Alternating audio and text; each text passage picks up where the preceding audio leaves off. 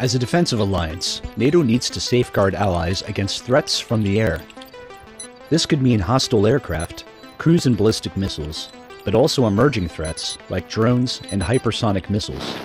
How does NATO defend against these threats?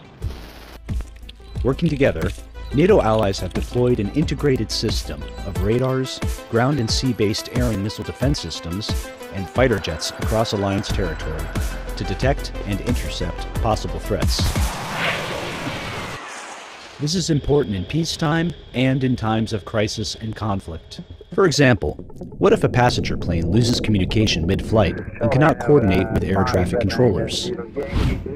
Ground-based and airborne radars can track the plane, while jets scramble to visually identify it. Once they confirm a loss of communication, they can guide the aircraft to safety. But in the event of a conflict, the NATO integrated air and missile defense system will shield Allied territory from threats like cruise or ballistic missiles.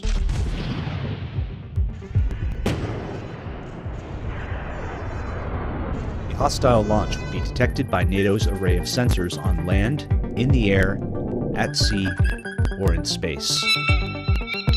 Once a missile has been pinpointed, NATO can use a variety of defense systems to neutralize the threat.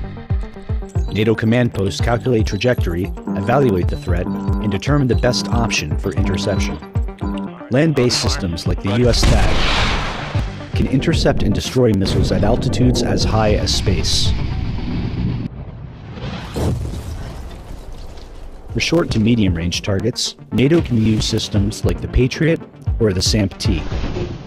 Allied warships and fighter jets can also destroy incoming missiles before they can hit Allied soil.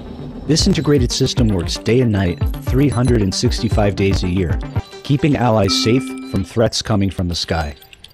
While this system has been around for more than 60 years, the Alliance must now contend with new threats. Drones can range from larger unmanned military aircraft to small commercial ones. While they don't look like much next to a cruise or ballistic missile, they can still cause damage and disruption, especially when used in swarms. NATO allies are developing additional solutions to counter potential threats from drones. Hypersonic missiles present another emerging threat. Flying faster than five times the speed of sound, these missiles can maneuver in flight, making them hard to track. While defense against hypersonic missiles is challenging, NATO is working on systems to counter them.